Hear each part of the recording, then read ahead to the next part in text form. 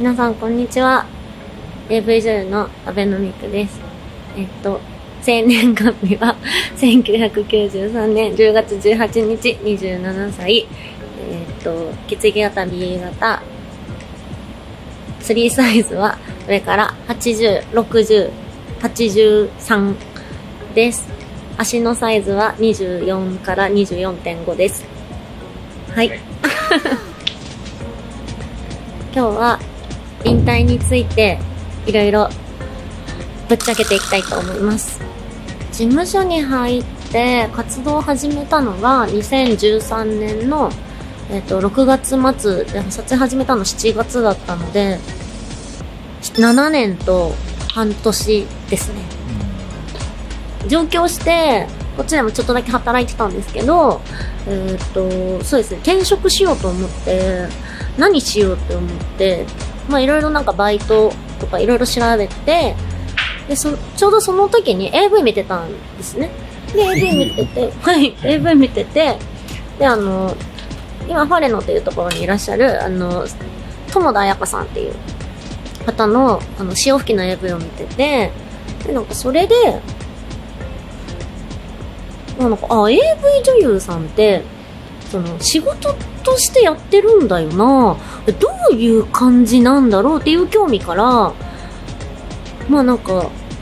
一回、そう、社会科見学みたいな感じで、事務所とかに行ってみようみたいなノリで、アポ取ったら取れて、行ったら、AV 女優になってたって感じです。なるほど。は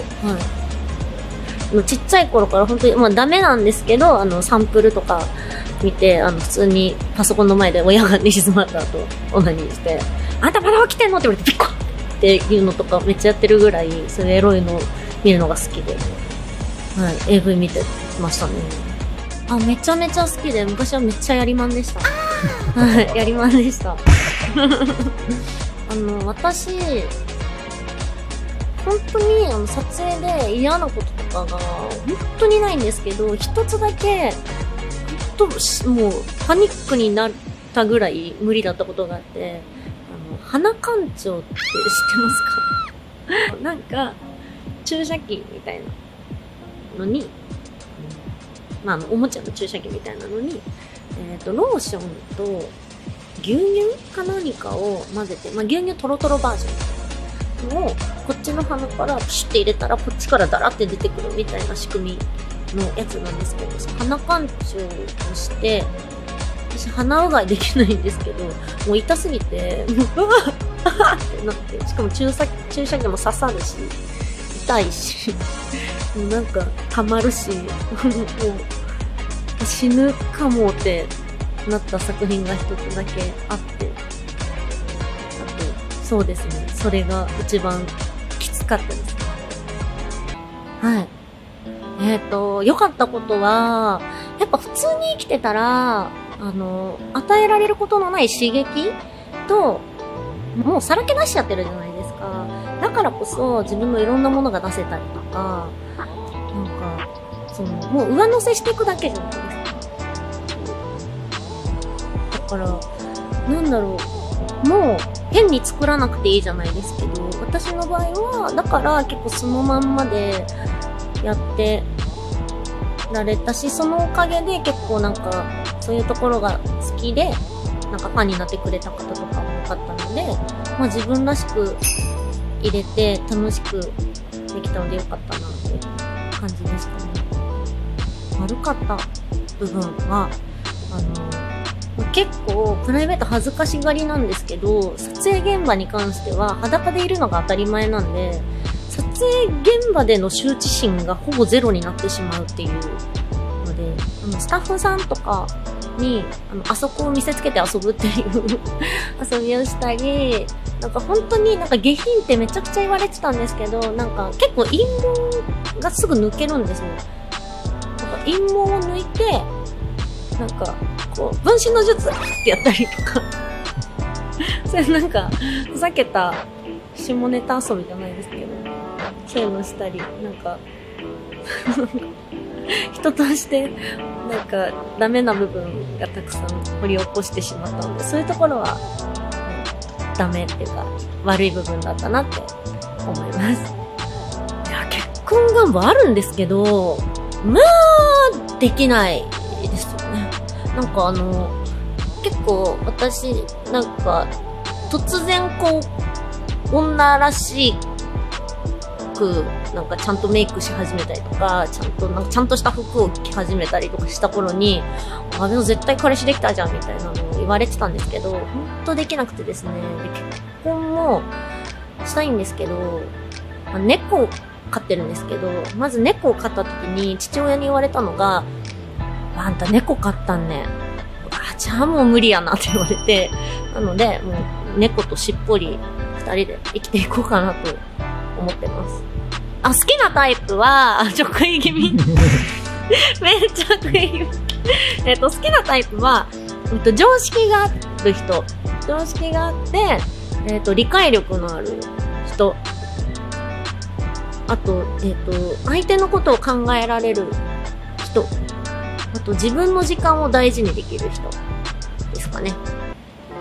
引退は、えっと、1月の31日ですね。まあ、もともとあんまり引退とかを考える人間じゃなかったんですけど、まあ、需要がなくなったらやめようかな、みたいなぐらいしか考えてないぐらい、ほんと仕事が大好きだったんで、やめる予定なかったんですけど、去年の6月ぐらいに、ちょっとあの、子宮なんとか異形成っていう病気になってしまって、まあ、それの、まあ、それもあったのと、もう今治療して完全に、まあ、再発しなければ全然大丈夫っていう状態にはあるんですけど、ま病気をして、まあ、さらにそれが、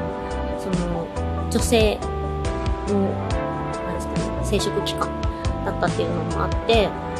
まあ、それも、それがあって、ちょっと将来のことを改めて、ちょっと見つめ直してみようと。今まで考えてこなかった自分のことを一回考えてみようかなって思って、で、その時に、私もこの業界にいて、何か、もっと、こう目指したいこととかあるかなって思ったら、案外なくて、結構、この7年半、いろんな活動をさせてもらって、まあ、アイドルだったり、歌を CD 出すとかもそうだし、なんか、イベント、トークイベントいっぱい出させてもらうとか、自分の番組させていただくとか、本当にいろんなことさせていただいたからこそ、もう、この業界で目指すものはないかなって思って、それもちょうどタイミングが重なったので、引退を決めました。引退後はですね、あのアベノミクの中の人として、あの、社会復帰を目標に生きていこうかなと思ってます。なんか、普通になんか辞めてね、すぐ転職したりしたいんですけど、まあ履歴書が書けない。と思いまして、まああのね、ゆるい履歴書でも許されそうなバイトに ついて、で、バイト経験いろいろやってみたいバイトとかした後に、まあなんか資格なり、ハロワ行って 資格取ったりして、いずれは30代の半ばぐらいには定職に就きたいなっていう普通の目標を掲げております。まあそうですね、本当になんか人前でパフォーマンスをする最後のと一大イベントといいますか、そういう感じではありますので、本当にダイナミクスとしての集大成なのかなとは思ってます。はい、えっ、と、こちらの動画をご覧の皆様、そしていつも応援してくださる皆様、と、そうですね、と、もうすぐ引退、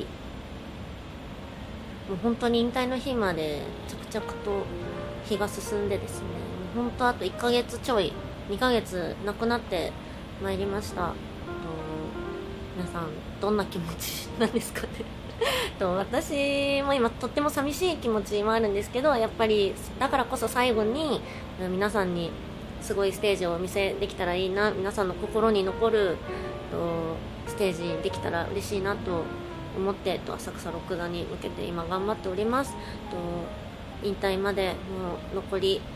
えー、と皆さんの前に出れる機会だったりとか皆さんに会える機会が少なくはなってきたんですけれどもだからこそこう浅草六座に来ていただきたいなと思いますし、と皆さんにと会える一日一日を大事にしていきたいなと思っています。引退の1月31日その日までぜひ残りも応援よろしくお願いします。たくさんの応援ありがとうございました。